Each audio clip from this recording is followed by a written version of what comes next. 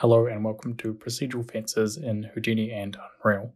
In this course you will learn how to create your first procedural asset and use it inside of Unreal using Houdini Engine with a start to finish example. This will allow you to discover the possibilities of what Houdini can do for your game development and asset creation workflows. This is a great 101 for people just getting started and wanting to learn about procedural modeling techniques. At the end of this course, you will be able to create your own simple procedural tools with user controls, game engine collision, and efficient mesh instancing.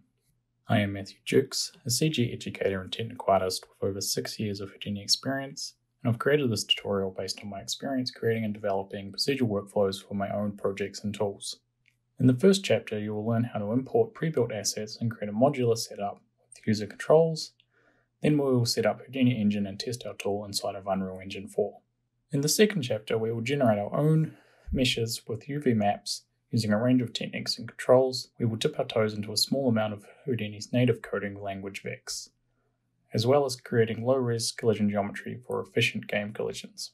The key takeaways of this course will be basic Houdini usage and navigation, importing assets, instancing geometry, parameter linking for control creation, creating procedural meshes, game collision geometry creation, and setting up and using Houdini Engine for Unreal Engine 4. I'm very excited to share this knowledge with you all. Let's get started.